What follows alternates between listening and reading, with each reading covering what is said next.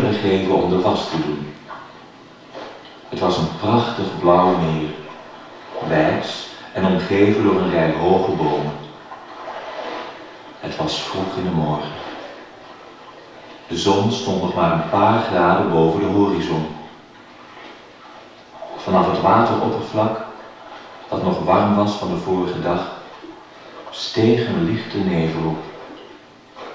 Een nevel zo ijl dat hij voor een mensenoog nauwelijks te zien was, maar zo sterk dat hij de bleke zon helder en wazig maakte. Het leek een dag te worden als alle andere dagen.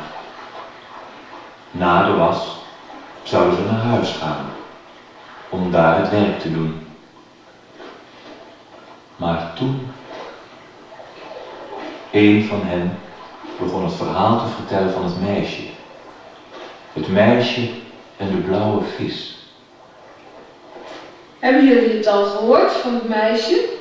Welk meisje? Wat is er dan gebeurd? Het meisje is dood. Dood? Hoe is het gekomen? Waaraan is zij gestorven?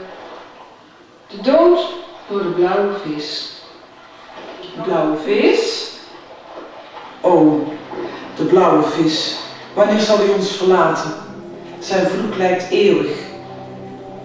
Ja, hoe lang zal zijn vloek nog op ons rusten? Weet je waarnaar ik verlang? Ik verlang naar vrijheid, naar het leven. Ja, en de vrijheid voor vriendschap, voor fantasie, de vrijheid voor zwerftochten. Alle zijn ze naar de achtergrond verdwenen. Iedereen is blind en durft niet in liefde en vrijheid te leven. En wordt daardoor zijn eigen gevangene. Blijven we dan tegen onszelf ten strijde trekken, vrijheid op onszelf betwistend. Maar vertel eens verder over het meisje.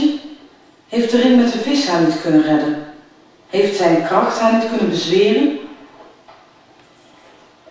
Nee, de ring heeft haar niet genoeg kracht kunnen geven. Haar noodlot was onafwendbaar. De vloek van de blauwe vis was ondraaglijk geworden. Het was als een sluipend gif, voortkruipend, beperkend, een grauwe, fatale ziekte.